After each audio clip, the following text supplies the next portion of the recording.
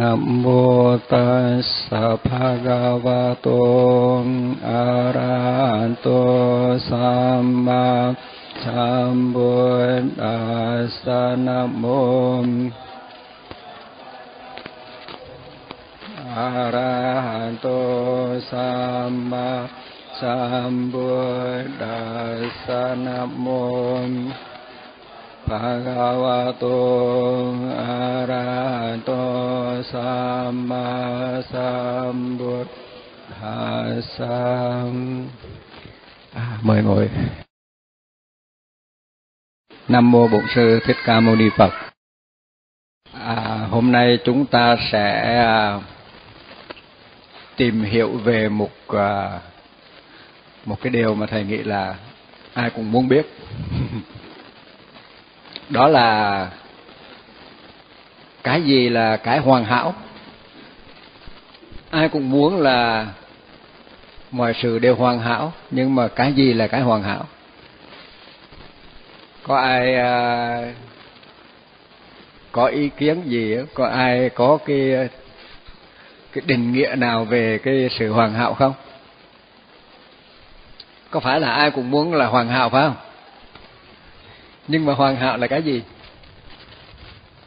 Ở trong à, tam Tàng kinh điển đó thì có một cái từ để mà à, mô tả cái sự à, hoàn hảo đó hay là gọi tên cái sự hoàn hảo đó đó là cái từ ờ, parami hay là ba la mật. Chữ ba la mật đó là người, người ta dịch là sự hoàn hảo.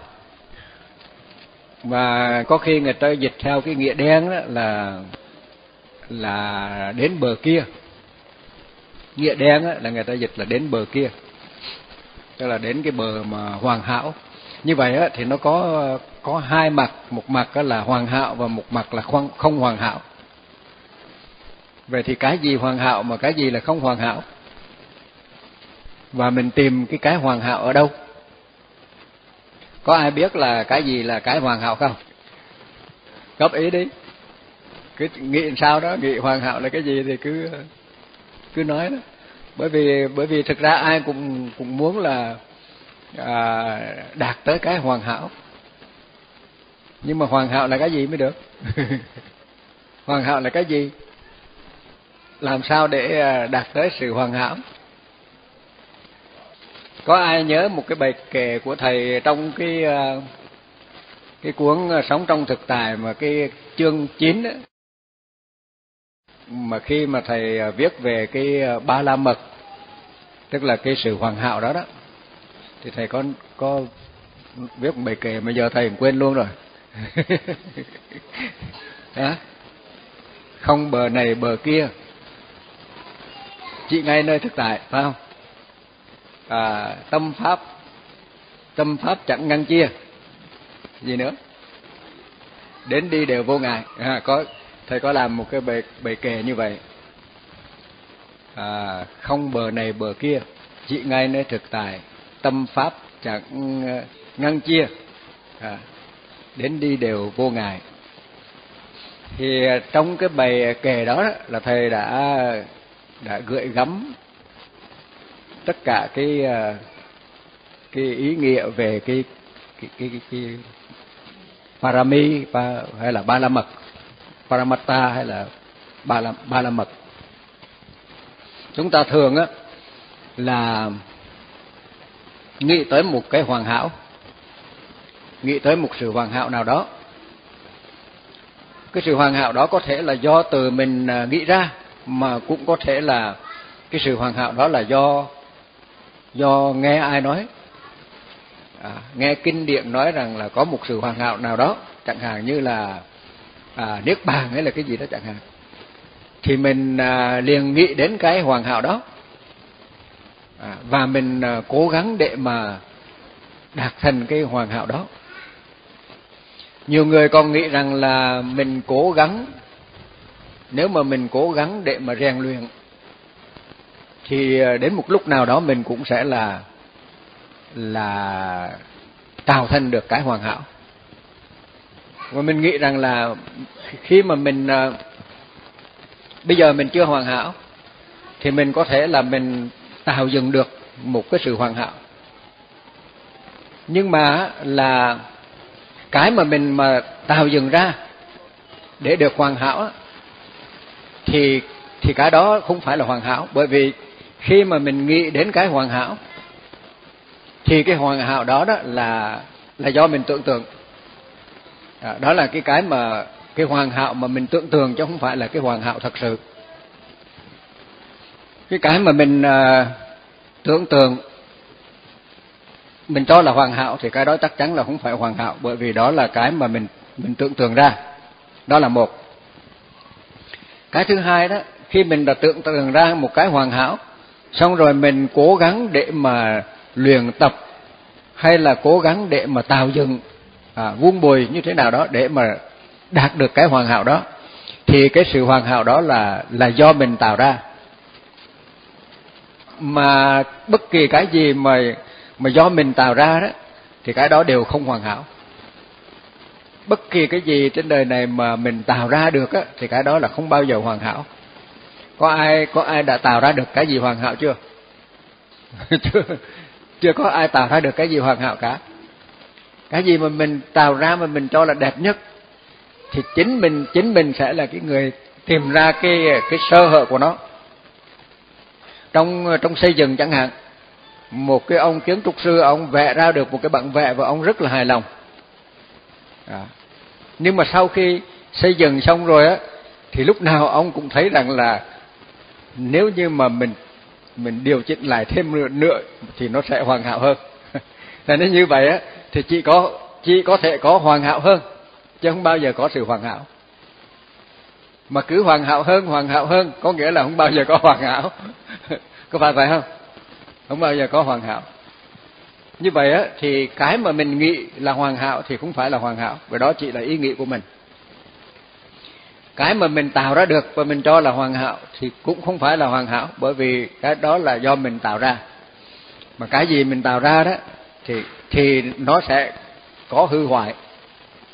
À, và nó và nó sẽ bất toàn cho nên á, thực ra đó là tất cả những cái mà mình mong đợi, tất cả những cái mà mình cố gắng để mình ờ, mình tạo thành, thì tất cả những cái đó đều không hoàn hảo.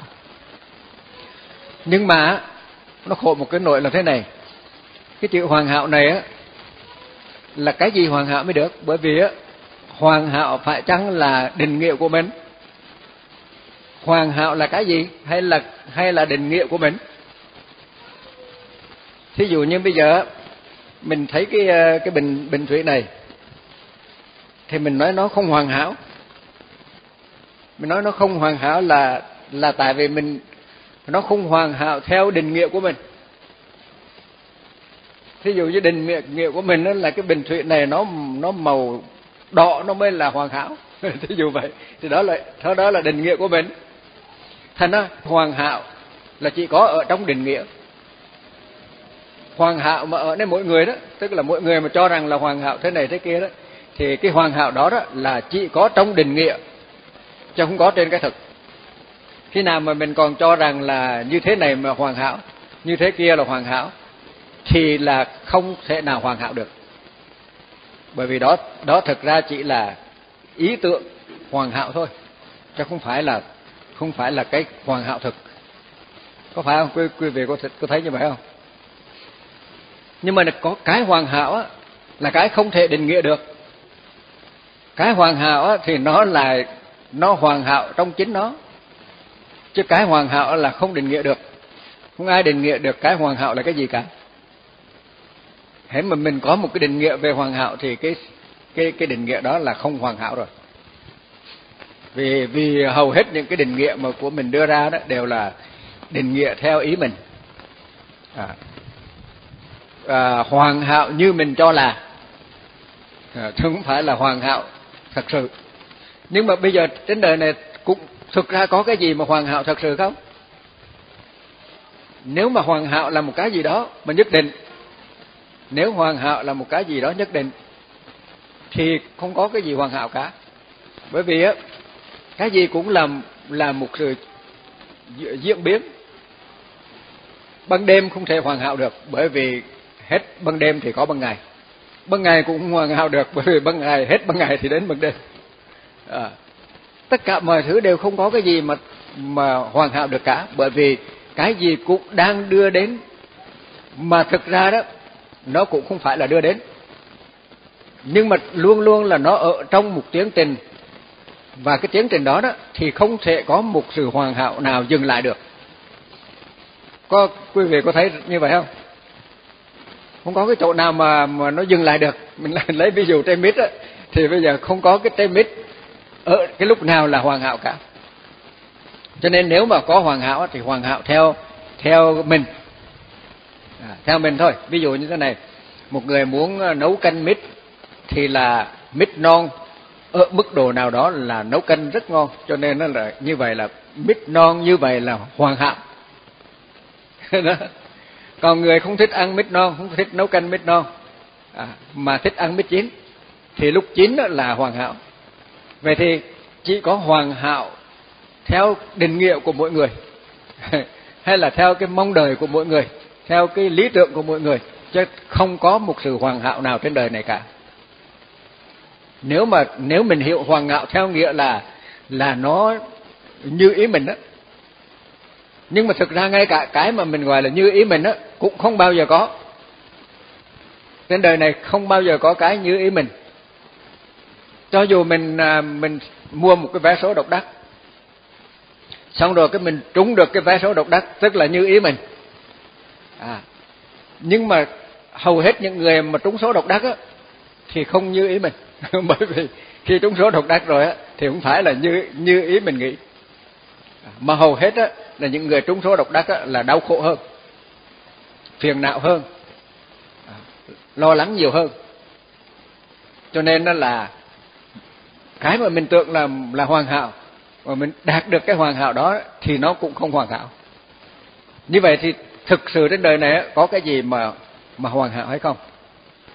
Có ai thấy là có cái gì mà hoàn hảo hay không? Nếu mà chúng ta muốn hoàn hảo như ý ý ý mình thì không bao giờ có hoàn hảo phải phải không? Nếu nếu chúng ta muốn hoàn hảo như ý mình, thì không bao giờ có hoàn hảo. Có thể là có một sự hoàn hảo nào đó theo định nghĩa của mình, hoặc là theo một mức độ nào đó mà mình định ra, thì thì thì có. Nhưng mà cái hoàn hảo đó, nó nó rất là không hoàn hảo. Giống như hồi nãy thầy nói đó, là mít non là hoàn hảo đối với người nấu canh mít non. Nhưng mà đối với người thích ăn mít chín đó, thì mít chín là hoàn hảo. Cho nên đó cái hoàn hảo đó nó nó là chỉ hoàn hảo theo ý mình chứ không không có một sự hoàn hảo nào là là sự hoàn hảo mà mà mình có thể ấn định được. Cho nên không có thể nói không ai trên đời này có thể định nghĩa được sự hoàn hảo. Sự hoàn hảo là nó vượt ngoài mọi cái khái niệm của con người. Mà cái sự hoàn hảo của chính nó đó cái sự hoàn hảo của chính mọi sự vật á, thì lại là luôn luôn biến đổi. Có khi là cái sự biến đổi đó là hoàn hảo. Cho nên nó là có một cái định nghĩa là vô thường thì thường, tức là vô thường là thường. Đó. Tức là người ta thấy cái vô cái hoàn hảo trong cái vô thường đó. Cũng như thầy thầy thấy là cái khổ cũng là cái rất hoàn hảo. Cái vô thường, khổ vô ngã, người ta tưởng rằng là cuộc đời này vô thường khổ vô ngã cho nên mình tu cho mau giải thoát cho rồi. Thì lúc đó là mình nghĩ giải giải thoát là là hoàn hảo. À, mình mình nghĩ là làm tu sao mà cho nó mau giải thoát thì thì cái giải thoát là hoàn hảo. Nhưng mà không biết rằng là chính cái vô thường khổ vô ngã đó cũng là hoàn hảo. Cái mà cái mà hoàn hảo đó thì theo thầy đó theo thầy thấy đó cái hoàn hảo là cái từ nó như nó là, tức là hoàn hảo. Chẳng bây giờ không biết cái nào là cái hoàn hảo cả. Bây giờ mình đang thấy một trái mít non, thì trái mít non đó là hoàn hảo. Hoàn hảo trong cái trong cái nó đang là.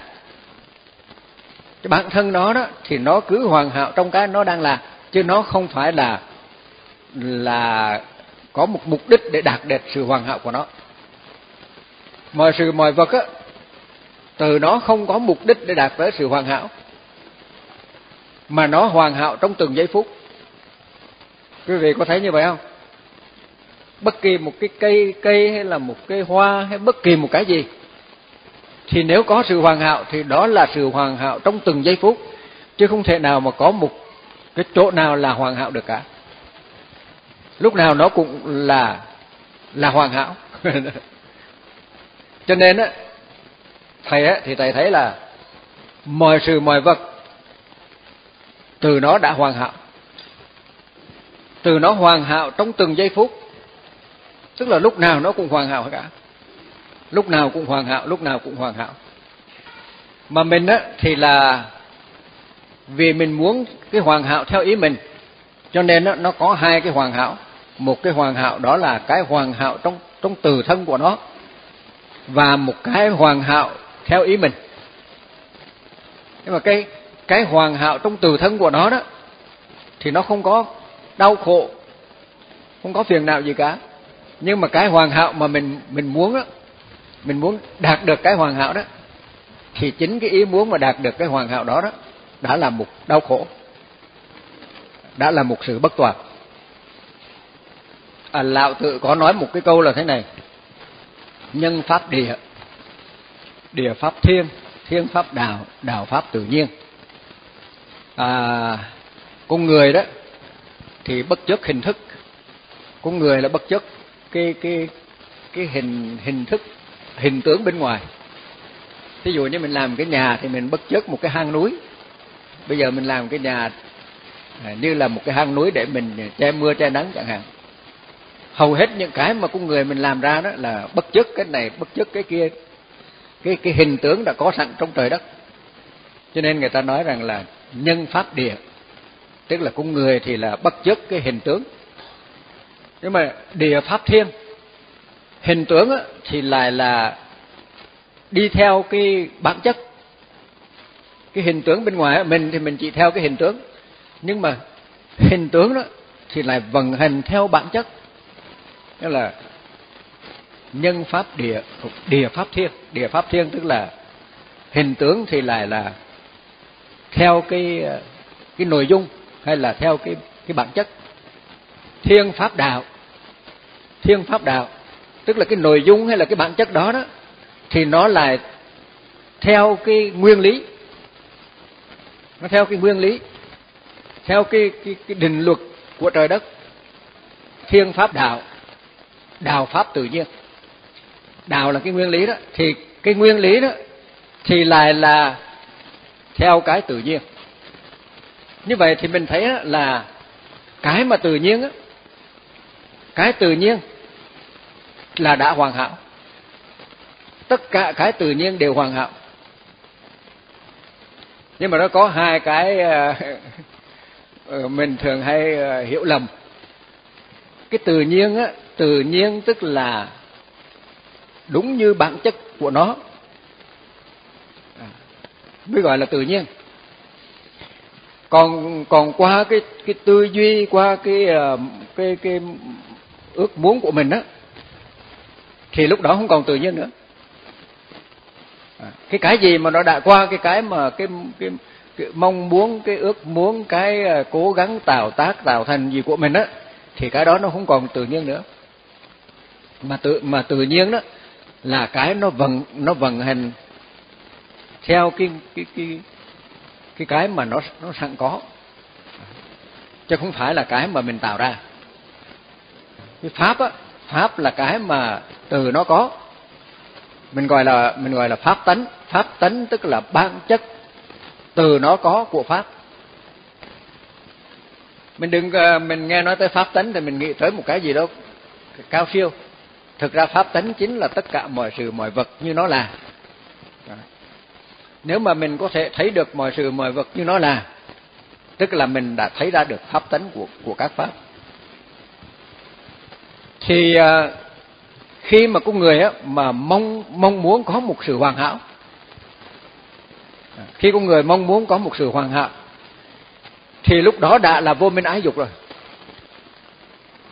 chúng ta đang à, cố gắng để mà đạt được một sự hoàn hảo.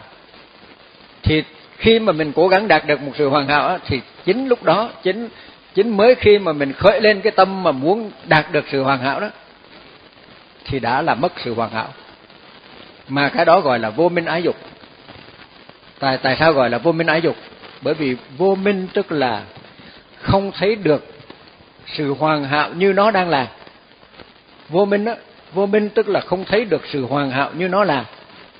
Mà mà mình muốn là nó phải là sẽ là. À, đầu tiên là mình cho cho là. Xong rồi là mình muốn nó phải là. À, hay là mong nó sẽ là.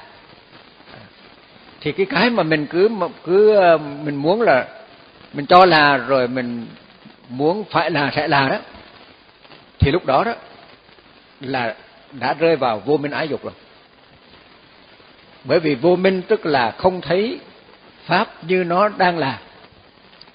Không thấy mình như mình đang là. Bây giờ bây giờ thầy lấy một ví dụ. Giả sử như bây giờ mọi người đang ngồi đây. Nếu mà thực sự trở về với cái mà đang ngồi đây như nó đang là đó, thì hoàn toàn là không có không có một cái sự phiền não khổ đau gì hết. Nhưng mà mình khởi lên mình liền khởi lên một cái là muốn phải là sẽ là. À, mình cho đầu tiên là mình cho mình là à, có thể là mình cho mình là hoàn hảo rồi hay là có thể mình cho mình là là chưa hoàn hảo. À, rồi bây giờ mình cố gắng để mình đạt được một sự hoàn hảo. Thì cái cái đó đó cái cái cái mà không thấy ra được cái sự thực như nó là đó thì cái đó là là vô minh vô minh là không thấy sự thật như nó đang là, mà sự thật đó là cái sự thật ngay nơi mình thôi. Ví dụ mình đang ngồi, mà nếu mình tròn vẹn trong sáng với cái đang đang ngồi đây, thì không có vấn đề gì cả. Không có vấn đề gì hết. Tự nhiên mình khởi lên là muốn sẽ là, phải là gì đó, thì ngay lúc đó đó, là mình đã không thấy được cái, tại sao mà mình lại muốn là phải là, sẽ là? Bởi vì mình không thấy được cái cái hoàn hảo của nó như nó là. Ví dụ như à, cái à, thí dụ như là cái con cung cung bướm. Nó ở trong cái à, cái cái vỏ kén cái vỏ nhồng của nó. Và đến cái lúc nó trưởng thành nó trưởng thành dần. Và đến một cái lúc nó bắt đầu là có cái cái cái cái, cái nội lực thì nó bắt đầu là vùng vậy nó vùng vậy để cho cái ờ, cái cái vỏ đó đó nó nứt ra. Và nó vùng vậy tiếp cho đến khi cái cái vỏ đó nó nứt hẳn ra để nó có thể chui ra được để nó bay.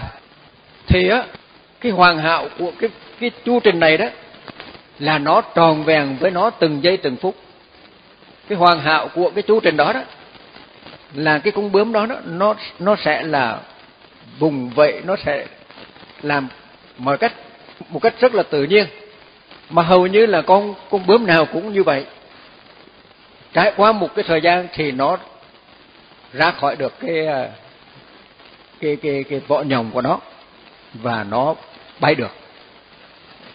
Thế nhưng mà giả sử như bây giờ, nó đang ở trong cái à, cái vỏ nhồng đó, nó không nhận thức ra được cái hoàn hảo của nó lúc lúc, ngay lúc đó là như vậy mà nó lại muốn là bay được liền. À, nó ở đó cái nó có cái ý nghĩ là làm sao mình bay được liền. Và trong khi nó nó có cái ý nghĩ và có những cái cố gắng để mà bay được liền đó đó, thì nó lại không làm tròn vẹn được cái mà mà đáng lẽ ra là nó phải tròn vẹn. Thì nó sẽ không ra được. Bởi vì á, nó nó nó phải đi theo một cái luật vận hành tự nhiên của nó. Cái luật vận hành của tự nhiên của nó đó là đã hoàn hảo trong đó rồi. À, vì nó không thấy được cái sự hoàn hảo đó cho nên nó không tròn vẹn với nó từng giây phút. Nếu nó thấy được sự tròn vẹn á thì nó sẽ nó sẽ tròn vẹn với từng giây phút. Thấy được sự hoàn hảo á trong từng giây phút thì nó sẽ là tròn vẹn trong từng giây phút. Và khi mà nó tròn vẹn trong từng giây phút á thì nó sẽ ra khỏi được cái vỏ nhồng của nó, để nó có thể bay được. Nhưng mà con người mình á, thì lại là là không thấy được cái cái hoàn hảo của cái lúc mà đang bất toàn đó. Cái cái mà đang bất toàn đó, thì mình lại không thấy được cái hoàn hảo của cái bất toàn đó.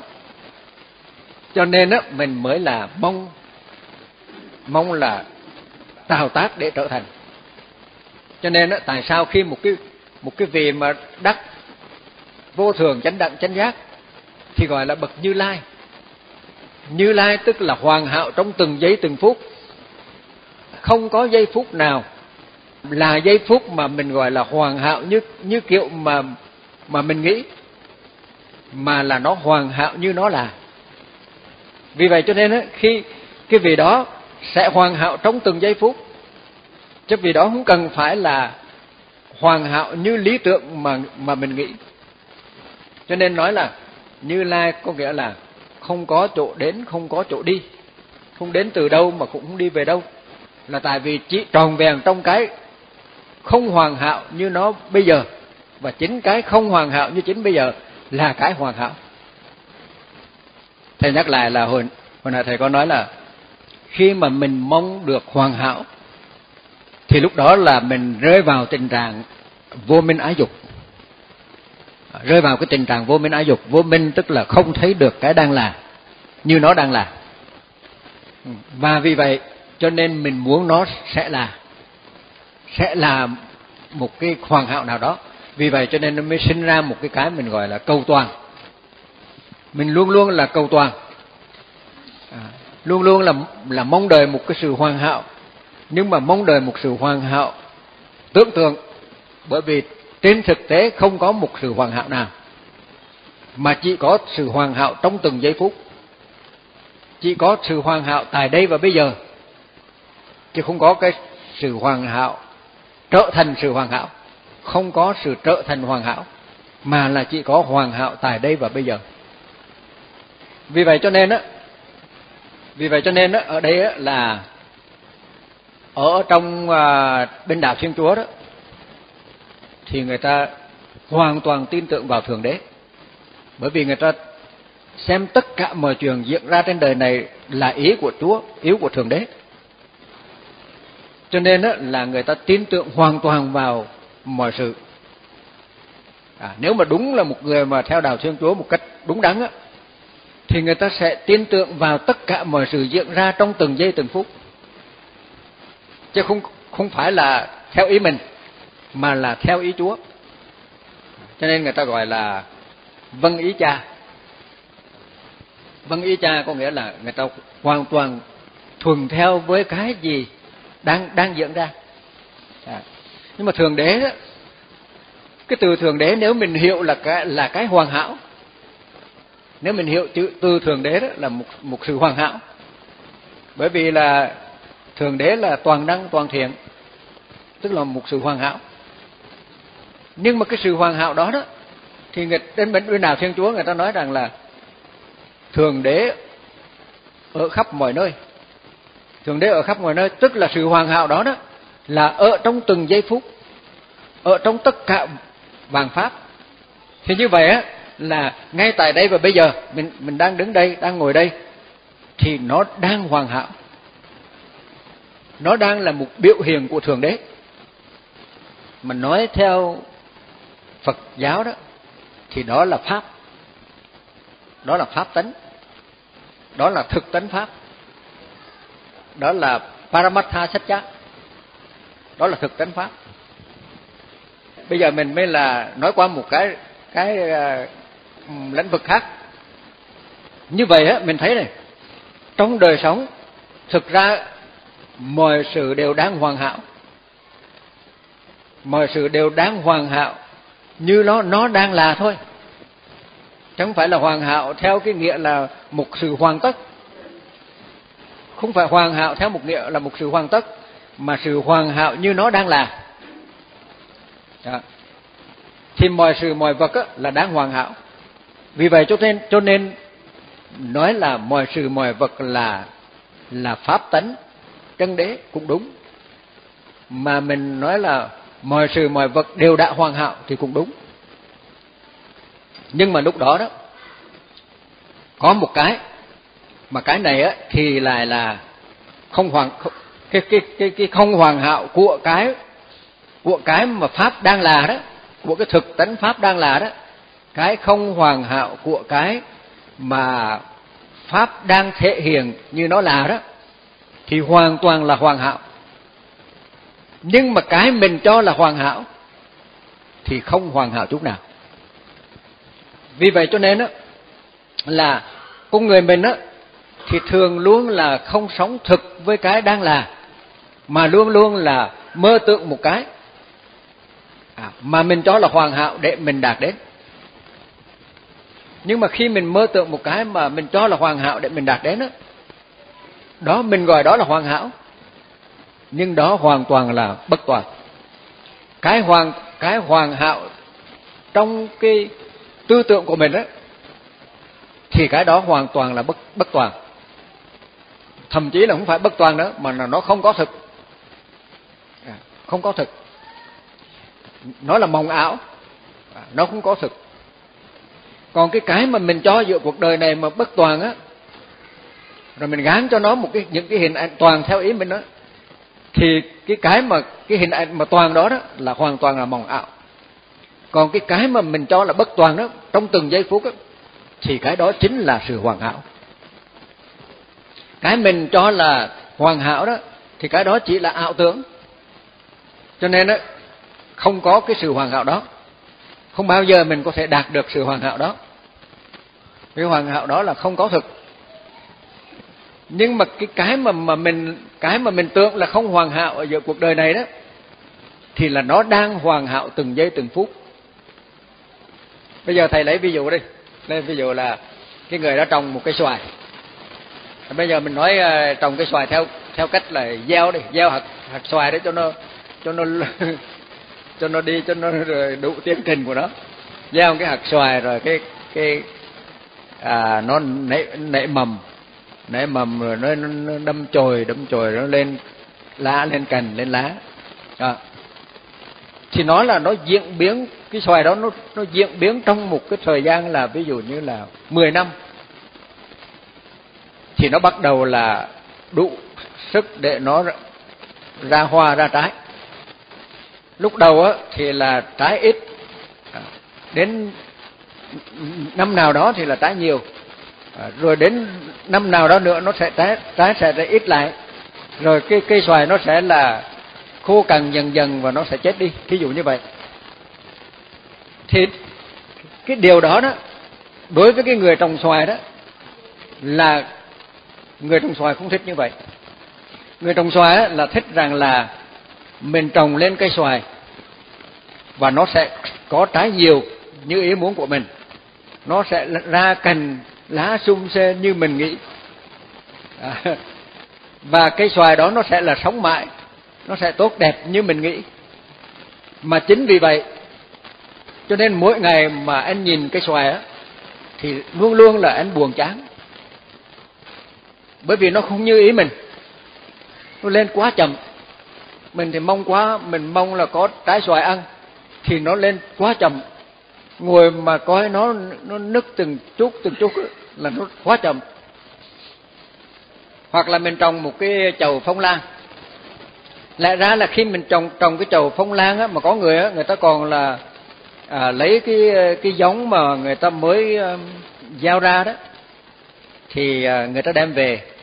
Người ta mua trong chai á mua bên thái lan á mua trong chai. Người ta đem về người ta mình lấy ra từng cái cái cái cây lan nhỏ xíu xíu đó người ta mới cấy ra rồi người ta mới trồng trồng. Và qua bao nhiêu năm thì nó sẽ lên hoa. Nhưng mà nếu như cái người đó mà người ta thấy nó lên mỗi ngày nó lên một chút à, người ta thưởng thức cái ờ, cái vẻ đẹp của cái lan nó nó lên từng từng lúc từng từng từng từng chút một. Rồi những cái rễ nó đâm ra à thấy những cái rễ nó đâm ra rất là rất là đẹp mà nó rất lâu chậm chậm chậm thôi. Mà nếu như cái người đó là à cứ, cứ tất cả mọi cái diễn biến đó như thế nào thì cái người đó vẫn thấy đúng như vậy. Thì cái người đó sẽ là thưởng thức được cái cây cây phong lan này hay là cây xoài này từ khi mới gieo cho đến khi nó chết. Thưởng thức được sự biến đổi của nó thưởng thức được vẻ đẹp của nó từng giây từng phút. Nhưng mà nếu cái người đó cứ mong là có xoài để mà thu hoạch mà bán thôi á thì, thì người đó cứ ngồi mà chờ hoài và cứ đau khổ hoài khi có xoài cũng đau khổ, mà khi chưa có trái cũng đau cũng đau khổ. Khi nó, khi thấy nó, lá nó héo đi cũng đau khổ, cứ thấy lúc nào cũng đau khổ hết đó. Đó. Thì chính cái mà mình muốn mình muốn hoàn toàn đó, là tạo ra cái đau khổ. Chính mình mong muốn được hoàn toàn như ý mình á thì mới tạo ra đau khổ. Chứ còn nếu mà mình cứ theo cái cái mà diễn biến của nó từng ngày. À, mình thưởng thức được cái vẻ đẹp của sự, sự, sự diễn biến của nó trong hàng ngày thì mình sẽ thấy một sự sống ở trong cái cây phong lan hay là ở trong cái xoài đó cực kỳ là phong phú. À, tức rất là kỳ diệu rất là màu nhiệm trong từng giây phút. Như vậy mình sẽ thấy được sự hoàn hảo của nó trong từng giây phút. Trong khi á, cái người mà lại là muốn nó hoàn hảo á à, trong tư tưởng á trong cái tư tưởng trong cái mong muốn trong mong đợi của một người muốn cho cái pháp đó nó hoàn hảo như ý mình á thì người đó chỉ có rước lấy toàn đau khổ. Vì vậy cho nên thầy mới nói là cái trong cái mà mình tưởng là không, không hoàn hảo thì nó đã hoàn hảo từng giây phút. Còn cái cái mà mình tưởng tượng ra một cái hoàn hảo theo ý mình á thì cái hoàn hảo đó hoàn toàn là ảo. Cái đó không có thật. Mà chỉ đem đến đau khổ thôi. Vì mình cứ luôn luôn mình sống á, là mình cứ đem cái hoàn hảo của mình là áp đặt lên trên cái như nó đang là. Mà nó không đúng như cái mà mình nghĩ, cho nên mình cho là không hoàn hảo. Cho thực ra là nó đang hoàn hảo. Trong sự à, trong cái sự mà diễn biến của một cái à, hạt xoài cho đến cái lên trở thành một cây xoài đó cái diễn biến đó nó không thể cắt đứt đi một đoạn nào được cả. Nó phải là một diễn biến liên tục. À, và cái diễn biến đó đó thì luôn luôn luôn luôn là tức là tức là nói theo nghĩa mình đó, thì luôn luôn nó chưa hoàn hảo. Nhưng mà thực ra đó là trong sự sống thì nó hoàn hảo từng giây phút. Thì bây giờ mình đừng nói cái xoài mà mình nói bản thân mình bản thân của của mỗi người đó. Mình đang đứng đây, nhưng mình mong muốn sẽ trở thành thành Phật, thành thánh, trở thành giám đốc, trở thành thủ tướng, trở thành cái gì đó. À, và mình không thực sự tròn vẹn thưởng thức cái đang đứng đây như nó đang là. Cho nên mình không thưởng thức được cái vẻ đẹp của sự sống. Mình không thưởng thức được cái sự hoàn hảo mong manh. Hoàn hảo hoàn hảo mà rất mong manh. Cái hoàn hảo đó rất là kỳ diệu. Chứ không phải là một sự hoàn hảo mà mình mình thường hay là làm nó thành hoàn hảo thí dụ như là cái hoa này mình thấy nó đẹp. Cái là mình muốn mình muốn là làm nó thành hoàn hảo bằng cách là chế ra một cái hoa ni lông. Chế ra một cái hoa ni lông để cho nó lâu hơn À, có thể để đây năm này qua năm khác cũng không sao hết. Đó đó là hoàn hảo theo ý mình. Nhưng mà cái hoàn hảo theo ý mình đó đó trên thực tế đó, cái cái này có thể là ngày mai nó tàn đi thôi. Nhưng mà ai cũng thấy rằng là cái cái cái hoa ni lông đó thì nó nó nó không có giá trị gì với cái cái mà cái hoa có thể là chống nợ chống tàn này. Cái chống nợ chống tàn này thì mới là hoàn hảo. còn cái mà mình cố gắng mà làm nó ra hoàn hảo thì nó là không hoàn hảo. Không biết là các vị có có, có theo dõi được những cái điều mà mà thầy nói nãy giờ để muốn nói cái gì hay không? Trong một gia đình có những xáo trộn có những cái ờ, nỗi khổ đau bất hạnh. Thực ra là bởi vì người nào cũng muốn hoàn hảo. Cho nếu người nào cũng thấy nó như vậy à, học ra trong nội khổ đó học ra trong từ trong nội khổ đó cái bài học mầu nhiệm của pháp cũng như là cái cây à, ở ngoài à, ngoài kia mình trồng ngoài kia trời nắng chang chang à thì nó nó héo đi một chút nó chịu được nó héo đi một chút. À có thể là nếu mà nắng liên tục thì nó sẽ khô lá đi nó rụng lá đi. À, mai mốt mùa mưa xuống nó sẽ đâm chồi lên. Nó vẫn thích ứng với tất cả mọi điều kiện của của của đời sống. Chính vì vậy mà nó cảm nhận được sự mầu nhiệm của của trời đất trong nắng, trong mưa, trong tất cả mọi mọi điều kiện. À. còn mình á, thì không. Mình thì mình luôn luôn là đặt ra một lý tưởng cho mình. Và đóng đinh cái lý tưởng đó lại. Đóng khung cái lý tưởng đó lại. Và ép tất cả mọi thứ đều phải theo cái lý tưởng đó. Để cho được hoàn hảo. Và chính điều đó làm cho con người đau khổ à, cho nên kệ cả xuất gia kệ cả tu hành mà nếu mà không thấy ra được cái điều này đó thì vẫn luôn là cứ à, tạo ra một cái khuôn an lạc khuôn hạnh phúc khuôn hoàn hảo nào đó để rồi mình cứ nhắc mình vào đó để để để mình đúc nó thành cái hoàn hảo như ý mình. Nhưng mà nhưng mà thực ra mình mình thua những cái cây cọ những cây cọ những cái rêu. À, thầy thấy có những cái rêu. Mùa hè là nó khô khô hết trơn. Mà mưa xuống một cái là nó bắt đầu xanh lại hết. Nó sống thích ứng với với với trời đất. Khi cần chết thì cứ chết. À, khi sống thì cứ sống trời nắng thì nó chiều nắng trời mưa thì nó chiều nó mưa. À, cho nên á cái, cái sự sống của nó là là cực kỳ phong phú. Và cái sự sống của nó là là mầu nhiệm. Nhưng mình thì không. Mình thì chọn lựa. Mình chọn lựa mà thực ra chọn lựa đó đó chính là đưa mình đến chỗ bất toàn.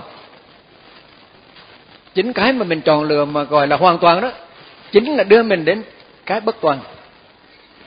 Bởi vì bởi vì sao? Bởi vì cái cuộc sống nó là luôn luôn biến biến biến đổi đúng với cái cái uh, chu trình của sự sống của nó. Thì mình lại muốn đóng khung nó lại thì làm sao mà nó còn còn là biểu hiện được một cái sự sống một cách uyển chuyển tự nhiên. Nhưng mà mình luôn luôn là đóng khung mình lại. Cho nên á thầy thấy thầy thấy là hầu hết những cái đau khổ trong cuộc đời này quý vị nhớ dùm á tất cả hay là hầu hết những cái đau khổ trong cuộc đời này là do ảo tượng của mình tạo ra. Không có do không có do bất kỳ cái gì khác hết. Không do bất kỳ cái gì khác. Do do ảo tượng của chính mình tạo ra thôi. Mình thì cứ đổ cho là tại trời nắng quá à, tại trời mưa nhiều quá tại bão tại lũ rồi tại cái cái cái cái cái ông chồng của tôi à, tại tại bà vợ của tôi. Tại đứa con của tôi. Mà tại tại mình, bây giờ đứa con này nó bệnh, nó đi học không được. Nó chỉ, nó không thể học, thi đại học được. Mình đau khổ. Mình đau khổ. Mình đau khổ là bởi vì mình muốn ép cái khuôn của nó trở thành là nó phải là đầu đại học. Mình ép nó vô cái khuôn là phải đầu đại học. Mình ép nó vô cái khuôn là phải mạnh khỏe. Mình ép cái khuôn nó phải thế này thế kia. Cho nên mình đau khổ và mình đau khổ rồi, mà mình lại còn là, mình còn là tàn nhẫn đối với nó nữa. Lẽ ra nó bệnh, lẽ ra nó học không được, thì mình phải thương yêu nó. Mình cảm thông với cái như nó là. Đó là sự hoàn hảo của nó. Chẳng phải nó hoàn hảo như ý mình. Hoàn hảo của nó là như vậy. Chẳng phải là hoàn hảo như ý mình bây giờ mình không hoàn hảo như ý mình, không nhận mình đau khổ, mà mình còn tàn nhẫn đối với nó nữa. Mình cũng làm cho nó đau khổ luôn. Cho nên, người ta không có sự cảm thông, không có tình thương yêu, không có trí tuệ. Không có trí tuệ là, tức là không thấy được pháp đúng như nó là. À, mà luôn luôn là cứ mong nó là. Mong nó là chứ không phải là chứ không phải là thấy nó như nó là. À, chính vì vậy mà mình luôn luôn đau khổ. Cái điều đó nó quá rõ nhưng mà hệ cứ nói tới đau khổ thì cứ nhà người khác mà nói. Tại ông đó tại ông kia. Tại cái tức là toàn là tại xung quanh không thôi. Không bao giờ thấy ra được là tại mình. Mà tất cả đều là chỉ có tại mình thôi.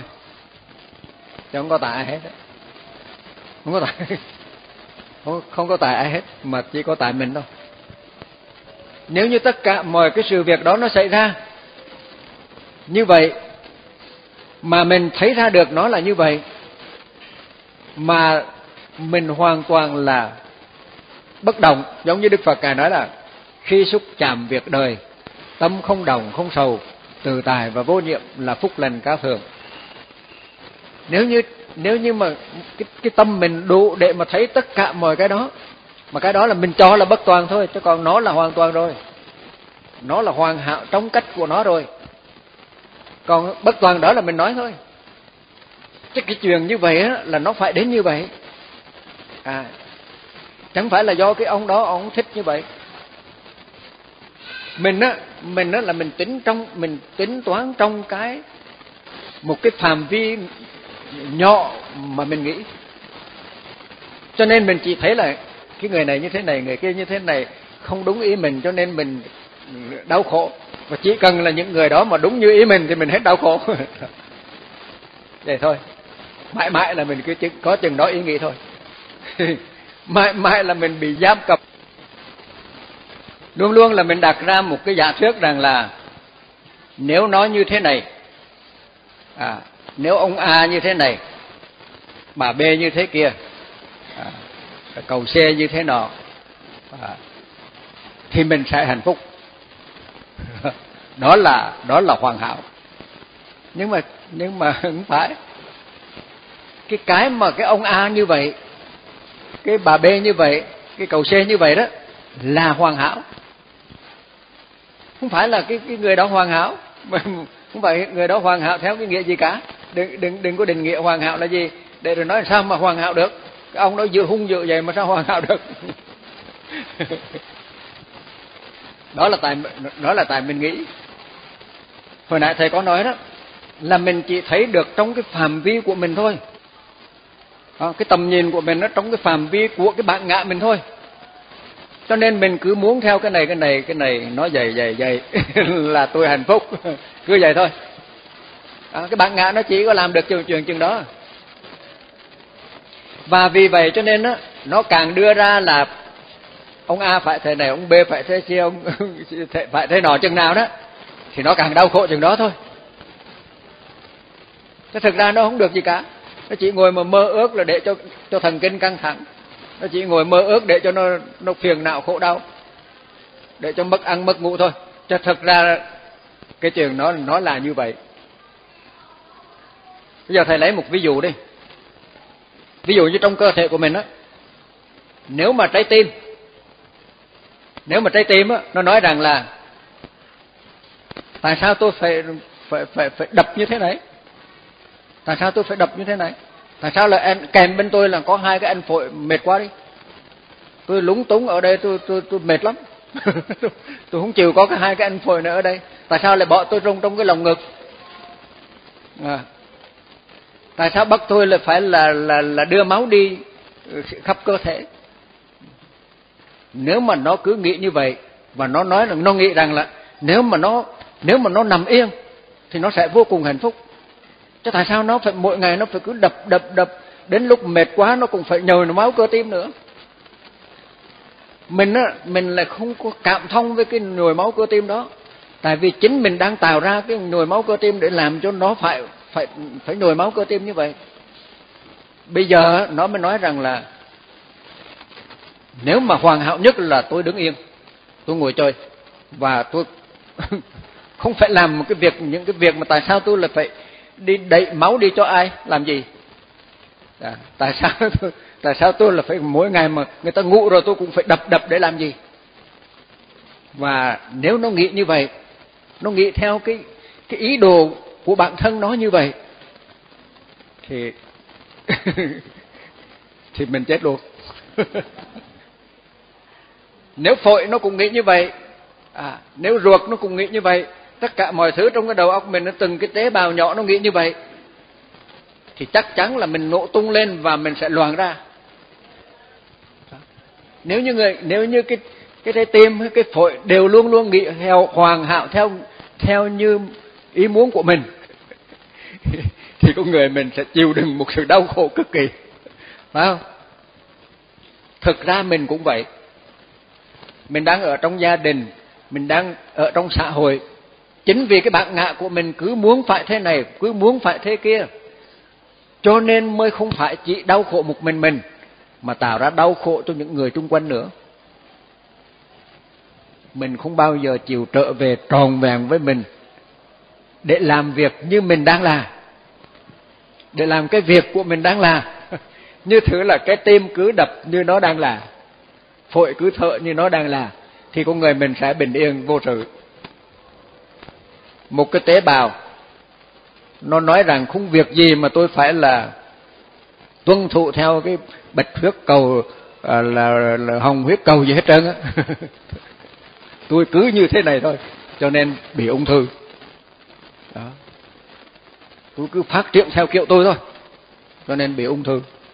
Đó. Cái mà mình cho là hoàn hảo sẽ là phá độ sự hoàn hảo của của vàng pháp. Cái mà mình cho hoàn hảo đã làm cho thế giới này là loạn lên. Mà không biết rằng nếu mọi người sống tròn vẹn với mình, tròn vẹn với từng bước đi, tròn vẹn với từng hơi thở biết rõ mình đang làm gì, biết rõ tất cả mọi sự, mọi vật xung quanh. Cảm thông với mọi thứ, cảm thông với từng ngọn cọ cảm thông với từng đám mây bay, thì cuộc đời này là không có đau khổ gì cả. Đau khổ chỉ là mình tạo ra chứ không có ai, không có nói đau cuộc đời này không có đau khổ gì cả. Chỉ là mình tạo ra những nỗi đau khổ của mình thôi. Mình ham danh, ham địa vị bây giờ mình cố gắng mà để mà chúng đạt được tới cái địa vị rồi. Bây giờ đó, đau khổ vì cái địa vị đó. Giờ trách ai? Chính mình chọn lựa con đường đó. Chính mình cho nó là hoàn hảo. Cho nên mình mới là phải cố gắng mà đạt tới. Rồi bây giờ ai đau khổ dùng cho? Mà đổ lỗi cho ai? Cho nên á, giác ngộ cũng có nghĩa là thấy ra được cái bản thân mình thấy ra được trong cuộc sống này cái gì thực ra nó đã là hoàn hảo. Mà hoàn hảo đừng có nghĩa đừng đừng có định nghĩa hoàn hảo cái hoàn hảo thôi chứ đừng có định nghĩa hoàn hảo. Mà định nghĩa hoàn hảo cái là trật liền á. Đó, hoàn hảo theo một nghĩa nào đó là nó trật liền. Cho nên con người cứ là cứ tìm tìm tìm cái hoàn hảo theo định nghĩa của mình mà chết. Vậy cho nên á phải phải có một cái nhìn mà cái nhìn đó nó phải là rộng lằng trong sáng để thấy tất cả các pháp nó là như vậy. Trong cái toàn thể của cái trời đất này cho mình cứ tách rồi mình riêng ra giống như hồi nãy thầy nói trái tim đó. Tách riêng ra rồi cái muốn làm theo ý mình cái là là hỏng hết mọi chuyện. Vì không thấy được cái cái cái nguyên lý của pháp. À, cái sự vận hành của pháp không thấy được cái cái pháp tự nhiên. Cho nên con người vẫn cứ là là muốn đưa ra một cái cái lý tưởng của mình để mà đạt được. Và chính những cái lý tưởng đó sẽ là những nỗi đau khổ mà người đó từ từ gánh lấy. Cho nên á, cho nên một cái vị mà a la hán thường thường là nói là đã để bỏ gánh nặng xuống. Tại vì mình nó từ từ gánh từ từ đưa ra bao nhiêu là gánh nặng. À, để rồi mình cái gánh nặng trở thành hoàn hảo. Nhưng bây giờ đã thấy ra được sự hoàn hảo cho nên bỏ gánh nặng xuống. Có người lại hiểu rằng là gánh nặng đó tức là sự tu hành sự cố gắng tu hành. À, thật nhiều cho nên bây giờ đắc đào quả rồi bây giờ không còn không không cần tu hành nữa. Không phải vậy. Cái nỗ lực mà tu hành đó chính là đưa đến không hoàn hảo đưa đến ảo mộng ảo tưởng. Chỉ cần đơn giản thôi. Đó là trở về tròn vẹn trong sáng để thấy ra cái đang làm. Thì lúc đó đó sẽ sẽ thấy ngay cái hoàn hảo từng sát na. Tuyệt đối là không có đau khổ nào cả. Cái đau khổ mà cái đau khổ do do cái ảo tưởng mà à, muốn hoàn hảo không còn cái cái đau khổ đó nữa. Còn cái đau khổ mà cái đau khổ thực của cuộc đời này đó thì cái đau khổ đó lại rất hoàn hảo. Cái đau khổ thực của cuộc đời đó thì đau khổ đó lại là rất hoàn hảo. Còn cái đau khổ mà mình từ dừng lên vì mình muốn cầu toàn mình muốn là đạt được cái gì đó à, như ý mình thì cái đó mới thực là cái đau khổ mà từ mình À, là tạo ra rồi gánh vác lấy.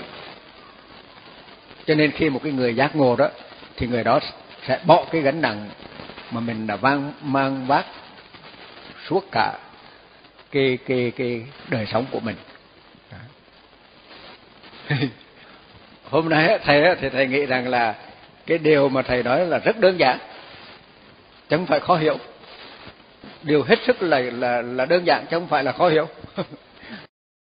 bây giờ thầy ngưng lại đây để à, à, cho phật tử hỏi.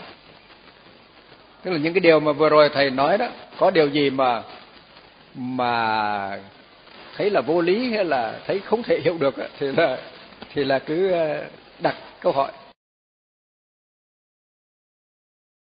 À, con kính chào thầy. À, kính chào mọi người ở đây.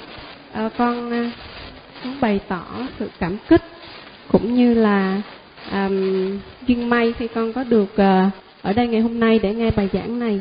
Con nghĩ là trong cuộc sống chính bản thân con đôi khi cũng um, quá nặng lòng hay là đau khổ vì những việc không như ý xảy ra với mình mà quên mất cái việc là um, cảm nhận vẻ đẹp của cuộc sống qua từng giây phút và con cũng xin mạng phép hỏi thầy một thắc mắc nhỏ à, khi con ngồi đây để nghe bài giảng của thầy là um, có sự khác nhau giữa cái việc mà mình um, cảm nhận cái sự uh, như là trong mỗi giây phút với cái việc mà mình uh, phấn đấu theo đuổi một cái uh, sự hoàn hảo hay là gọi là một cái sự hoàn thiện vì con, theo như con thấy thì chính cái việc mà ừ, bản thân mỗi con người theo đuổi cái việc tự hoàn thiện chính mình hay là theo đuổi một cái mơ ước nào đó thì chính là cái động lực để phát triển cuộc sống cũng như là để ờ, mỗi người sống mỗi ngày một tốt hơn. Thì ờ, hoặc là ví dụ như đối với việc nuôi dạy con cái, nếu như mình thấy bọn trẻ như là và chấp nhận cái việc như là của của bọn trẻ ngay tại cái thời điểm đó thì liệu mình có có bỏ qua cái việc định hướng cho bọn trẻ sống tốt hơn và theo một cái hướng đúng đắn hơn không? Dạ thưa thầy thưa thầy. À, cái câu hỏi này là câu hỏi mà chắc chắn là sẽ có sẽ có nhiều người hỏi. Câu hỏi đó là câu hỏi mà thầy nghĩ rằng là ai cũng có thể đặt ra. Cái này rất là khó nói. Bởi vì như thế này, bởi vì con người mình đó là, nói như bên đạo thiên chúa là người ta gọi là tội tổ tông. Tức là một cái một cái cái mà từ cái đời này qua đời khác đã in trong đầu con người đó là sinh ra thì phải như vậy như kia kia nọ. Và bây giờ mình sinh ra thì mình phải là như vậy như kia cho nên mình không còn đi cung đường nào khác chỉ đi theo cái lối mòn đó hoài. Và mình cho rằng lối mòn đó là tiến hóa. Nhưng mà khi mà mình chạy theo cái sự tiến hóa đó đó thì lại mình lại đánh mất chính mình. À, cho nên mất đi một cái sự tiến hóa thực mà mình lại mở ra một cái cái tiến hóa ảo. Và cái tiến hóa ảo đó đó thì lại là đưa đến là sầu bi khổ ưu não đưa đưa đến ở buồn phiền tức giận ham muốn sợ hãi lo lắng thất vọng hy vọng à, đủ thứ. Tuy nhiên á có một điều thế này à, có một điều là nó có một cái cái định luật. Có một cái định luật là khi cái người nào mà chưa có thể trở về tròn vẹn được với là pháp như nó là, thì người đó luôn luôn tìm kiếm, luôn luôn tìm kiếm một sự hoàn hảo. Thì cái chu trình mà để mà đi tìm kiếm một sự hoàn hảo đó đó, thực ra lại trở về lại khởi điểm. Tức là người đó đi tìm, rồi cố gắng, rồi đạt được, rồi giống như câu chuyện như thế này. Câu chuyện này là câu chuyện thầy có kể nhiều lần rồi. Là um, có một cái người đó hai người bạn chơi thân với nhau. À, thì một hôm uh, cái người người cái cái cái, cái anh A đó mới đến mới nói chuyện với anh B. Mới nói rằng là anh với tôi đi uh, đi làm giàu. Thì anh uh, cái anh B đó anh mới hỏi lại mà làm giàu để làm gì? Thì làm giàu là để mình uh, có có tiền nhiều mà nó có tiền nhiều để làm gì? Có tiền nhiều thì để mình mua sắm đồ này kia. Mua sắm để làm gì? Mua sắm là à, rồi mình được cái này tức là anh kệ kệ một dòng. Kệ một dòng thiệt dài. Mới nói hỏi hỏi hỏi một tức là cứ nói rồi ví dụ như là à, có nhà cửa rồi, rồi có xe hơi rồi có vợ đẹp rồi có con sinh rồi cứ cứ nói nói nói hoài rồi cứ rồi cái người cái anh B đó anh cứ hỏi nhưng mà để làm gì? Thì cuối cùng á là cái à, cái anh A mới trả lời này, thì để hạnh phúc. Thì cái cái anh anh B cái nó thì anh B mới nói rằng là vậy thì cứ anh cứ đi. Anh cứ đi để đạt được hạnh phúc của anh.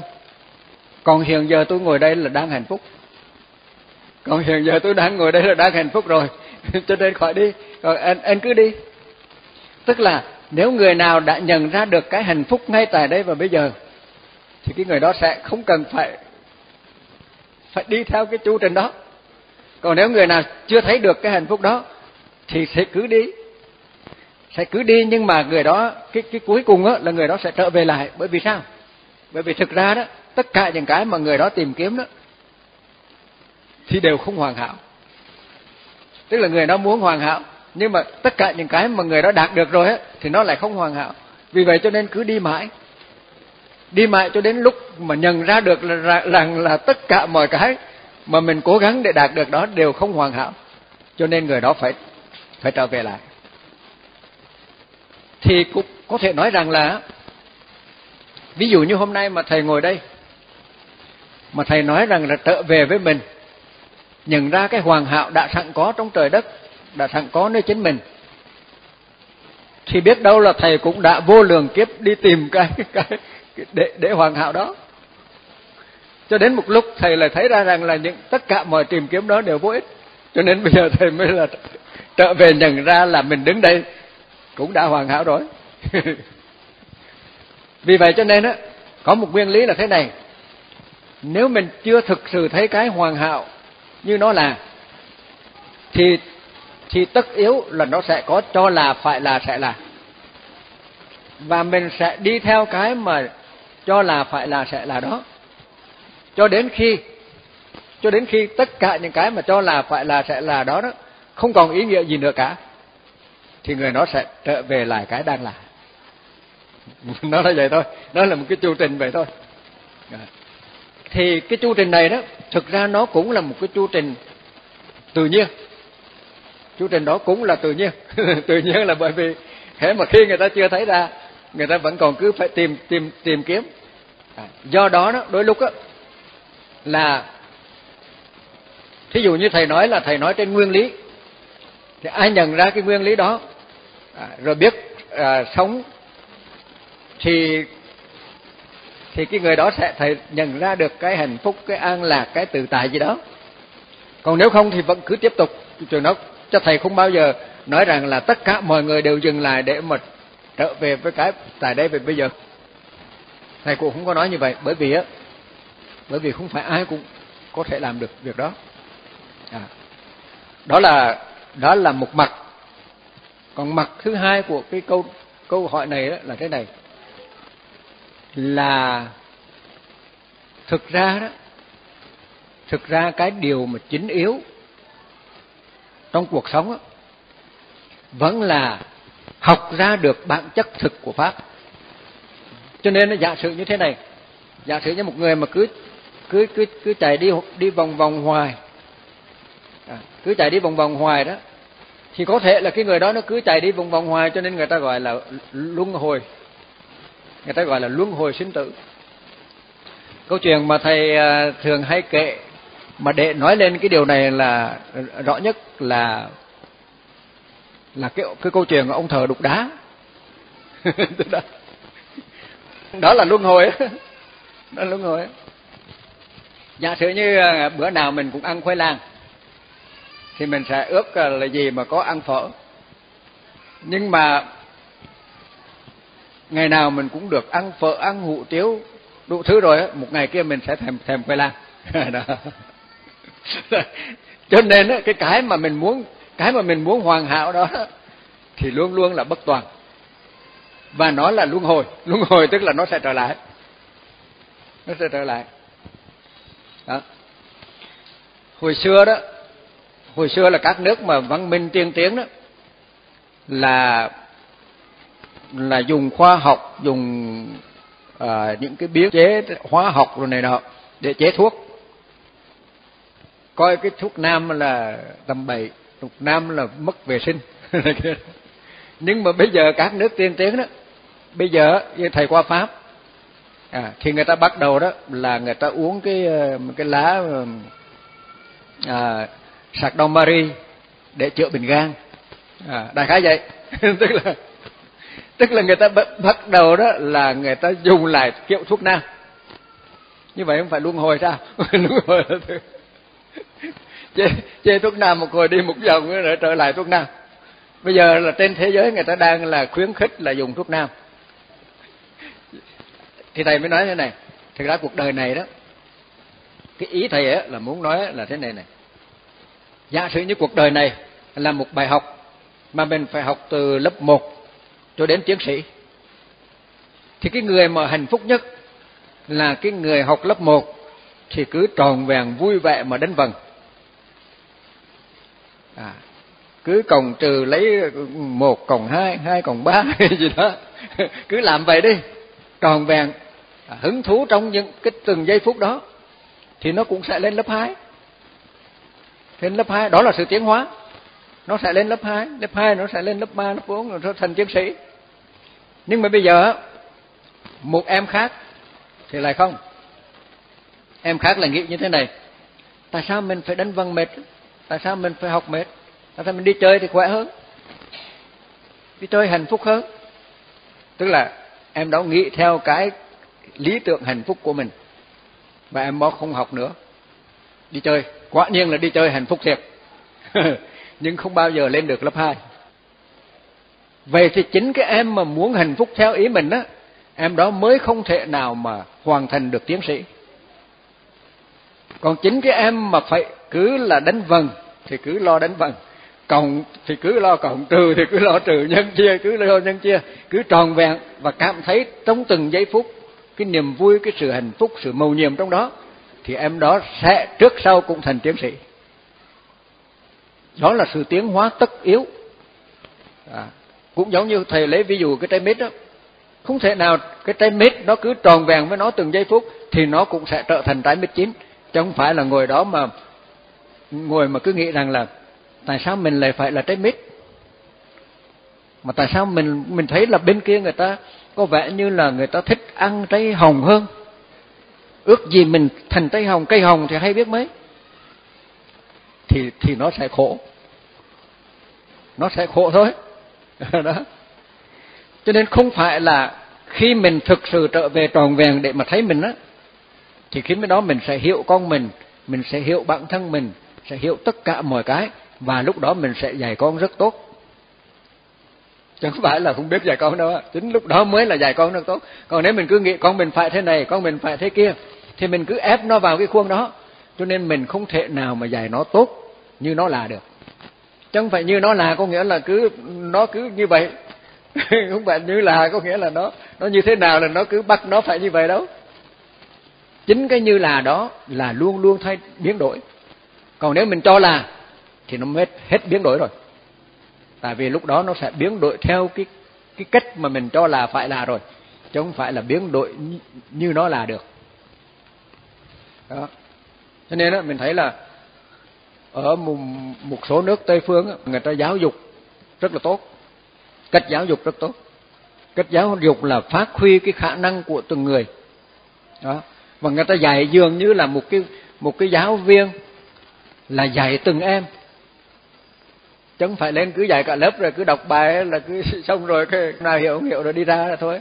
Không phải vậy. Mà là dạy từng em chịu trách nhiệm từng em.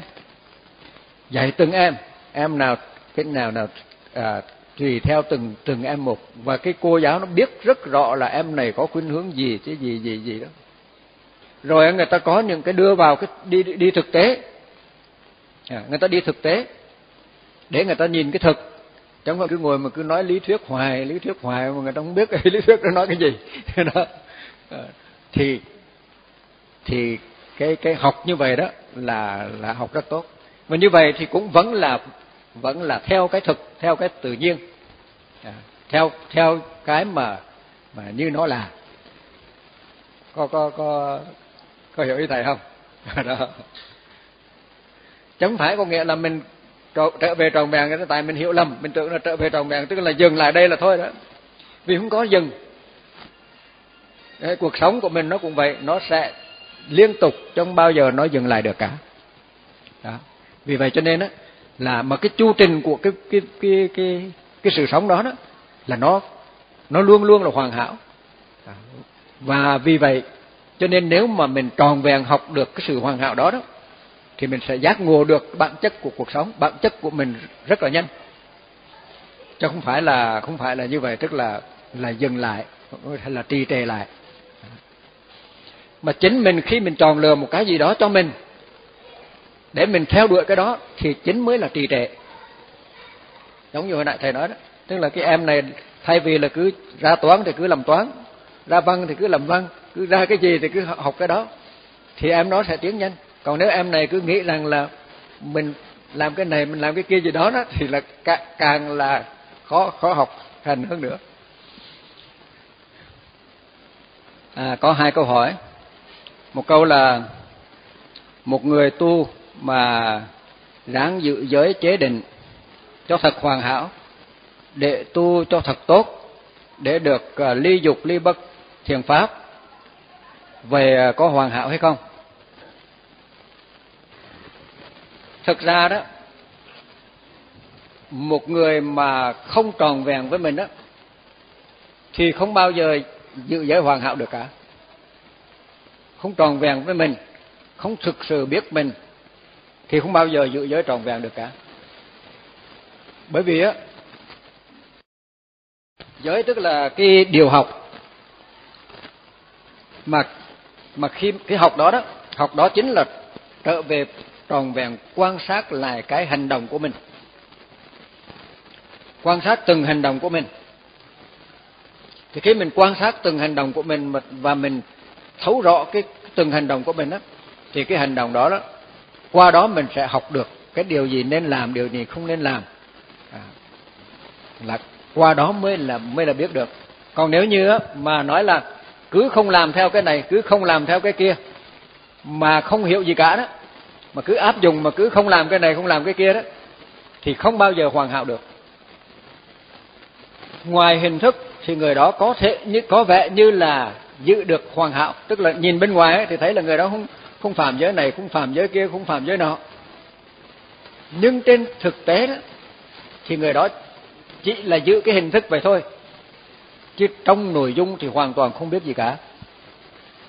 Thì như vậy giới không bao giờ hoàn hảo giới chế định không bao giờ hoàn hảo.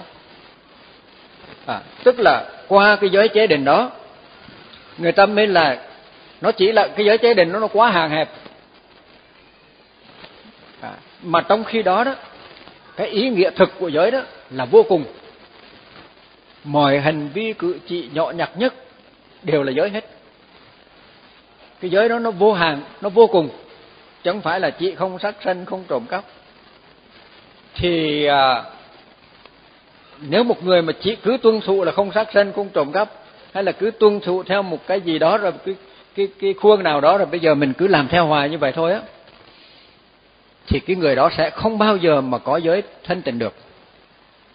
Mà là qua những cái đó người đó bắt đầu mới là trở về lại được với chính mình. Qua những cái điều học đó mình mới bắt đầu quan sát lại, học hỏi lại chính những cái hành vi của mình. À, thì lúc đó mình mới biết rằng là cái hành vi này nên làm, cái hành vi này không nên làm. Những vị mà giới chế định đó là nói theo, nói nói theo nghĩa đời đó, bình thường á, thì có thể nói là hoàn hảo. Tức là không bao giờ phạm giới này, phạm giới kia, phạm giới nọ nhưng mà ngược lại á, cái sự cái sự thần trọng, cái sự tinh tế ở trong hành động á, thì lại không có. Điều này chứng tỏ rằng là vì đó chỉ giữ cái giới trên cái hình thức vậy thôi. Còn vì đó vẫn chưa học ra được cái thực chất của cái hành động của mình. Có có hiểu ý thầy nói không? Một cái người mà quan sát lại mình từng hành động, từng cử chỉ nhỏ nhặt nhất để thấy rằng là cái này nên làm cái cái này không nên làm. Không biết. Mà chỉ tuân thủ theo một cái gì đó đó thì người đó càng ngày nó càng sẽ là không đủ tinh tế để mà thấy ra được cái hành động nào nên làm hành động nào không nên làm. Cái gì thì hại mình hại người cái gì không hại mình hại người không thấy ra được điều đó. Cho nên á phải qua cái thế, cái cái giới mà chế định đó phải vượt lên được là đến cái chỗ là bắt đầu thần trọng từng hành động. Bắt đầu tinh tế từng hành động. À, thì lúc đó đó giới mới trong mới mới trong sạch được. À.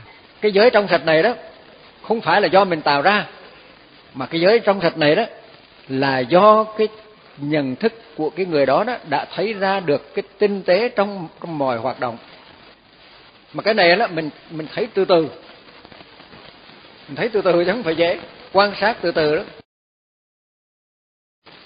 Giả, giả sử như là ăn một cái cái hạt. Mình ăn cái trái gì đó mà. Giả một hạt mít chẳng hạn đi. Mình ăn cái muối mít xong rồi còn cái hạt. Quăng xuống dưới. Nhưng mà dần dần thì mình thấy là không thể quăng như vậy được nữa. Bởi vì mình quăng vô một cái đó thì biết đâu là cái cái hạt mít nó là trúng vào một cái con gì nó đang nằm đó chết làm sao? Mà là ở trong cái cái cái đám cây đám cọ ở giữa đó thì biết bao nhiêu là cái con côn trùng biết bao nhiêu là cái cái cái, cái sự sống gì đó hoặc là một cái mầm non của một cái cọ nó đang lên. Bây giờ mình quăng xuống một cái thì hành động không thể nào mà mà cẩu thả như vậy được nữa. Tự nhiên nó vi tế dần nó vi tế dần vi tế dần. Thì cái cái mà cái cái mà tinh tế trong trong từng cái hành vi cử chỉ của mình ấy, cái đó gọi là giới. Cái sự tinh tế đó cho đến cái lúc mà nó nó hoàn toàn làm cái gì cũng đúng cả. Mọi cử chỉ hành vi đều đúng. À, không hại mình hại người. Có những cái mình đâu có đâu đâu có, có phải là muốn hại đâu. Tại mình ăn xong mình vất cái thôi. Nhưng mà là cái hành động nó sẽ trở nên tinh tế khi mà mình biết quan sát lại lại mình.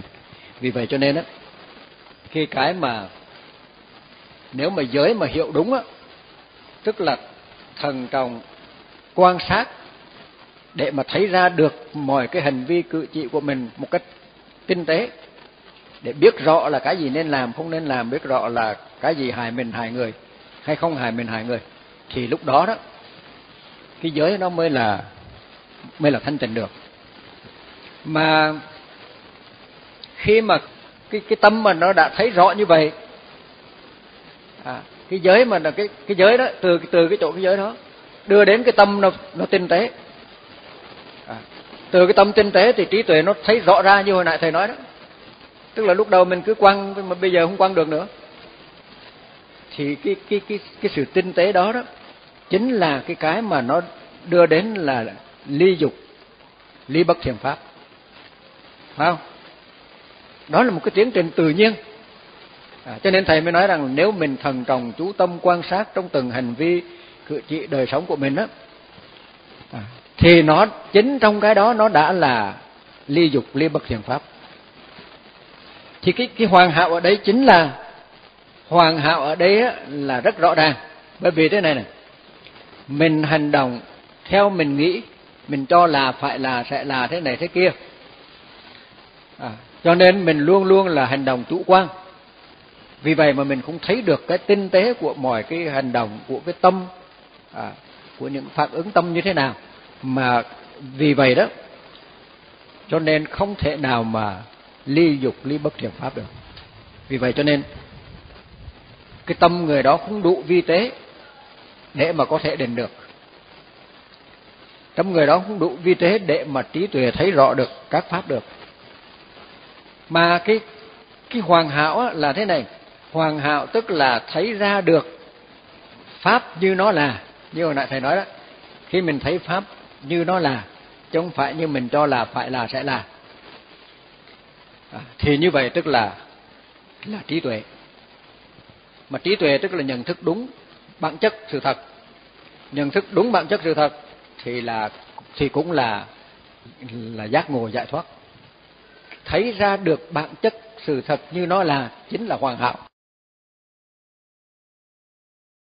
Cố gắng tu hành để trở thành thường lạc ngạ tình. Thì như vậy có có đúng không? Không đúng.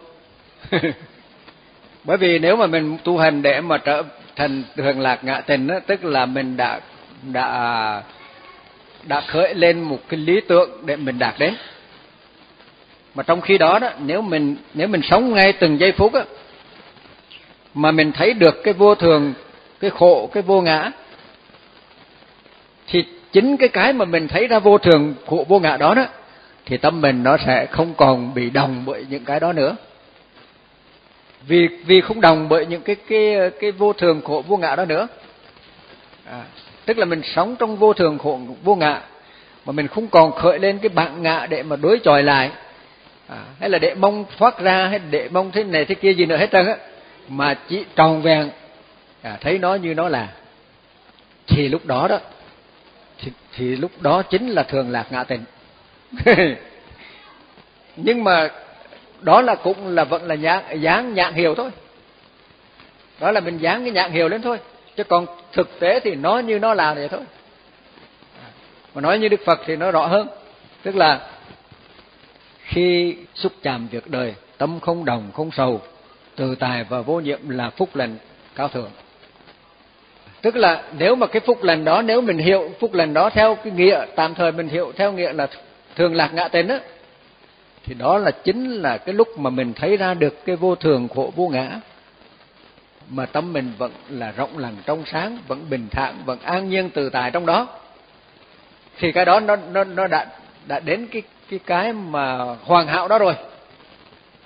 Cái hoàn hảo đó nó không có tên gì được tức là nó không có tên là thường lạc ngạ tình đấy là cái gì? Theo ý mình. Bởi vì cái mà mình đặt ra cái tên như vậy là mình trong trong đó mình cũng vẫn có cái ý muốn là muốn được như vậy.